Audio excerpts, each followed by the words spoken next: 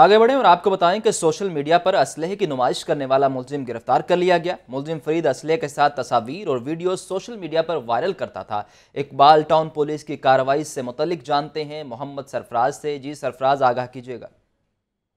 जी, बिल्कुल सीसीपी लाहौर की हिदायत पर जो असलहा लहराने और असलहा पर पाबंदी पर जो है वो पुलिस की जानब से क्रैकडाउन किया गया है। बाल्टाउन पुलिस की जानब से सोशल मीडिया पे असलहा की तस्वीर वायरल करने वाला मुलजम जो है गिरफ़्तार कर लिया गया है। इसके कब्जे से असलहा लेकर मुकदमा दर्ज किया गया है। पुलिस का कहना है कि ये मुलम जो है वो हवाई फायरिंग करता था, फुटेज बनाता था और सोशल मीडिया पे वायरल करता था, जिसकी वजह से इलाका खौफ हरास था।